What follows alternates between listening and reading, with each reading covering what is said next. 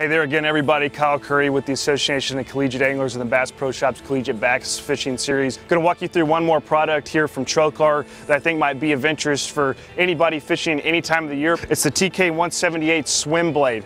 It's from Trokar. Great product here. You can see it's got the spinner, weighted hook, the screw lock. We're gonna pair it with the Berkley Power Swimmer 4.3 inch in the Bass Magic color. Let's show you how to set it up.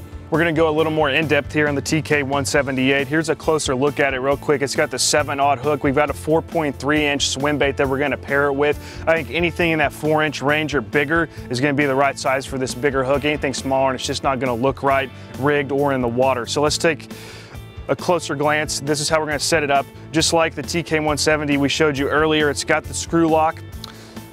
Gonna get that guy started here through the soft plastic.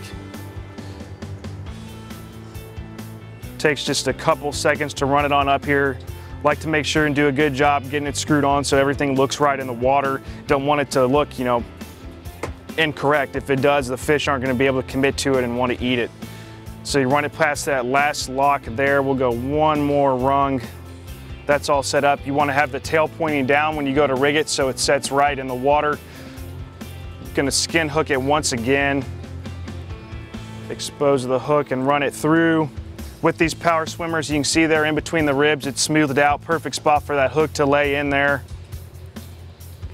Gonna skin hook it, get that hook point down in there, just like that you're ready to go. Kind of get a glimpse of it there of what it's gonna look like. That blade's gonna get a little bit of motion. It just starts spinning. It's gonna look really great under the water. As with any swim bait this time of year, this is gonna be something you wanna fish out in open water. You can get around a little bit of cover when you bury that hook like that. If you bump up against something, it's not gonna snag, but you're looking for points, creek channels, even over grass, this would work great. One other item though with the spin blade that I wanna highlight is that this is a bait that can be fished year round. It's probably only gonna get better as the fall progresses into the winter. When the fish are kind of slowed down, the water's cooler, the bait's moving a little slower, you can, you can wind this weighted hook a little slower, get some more action in the water, and it really entices those fish in clear water scenarios want to come up and eat it. So check it out, the TK178 from Trokar swim bait hook that you're going to want to use any time of the year.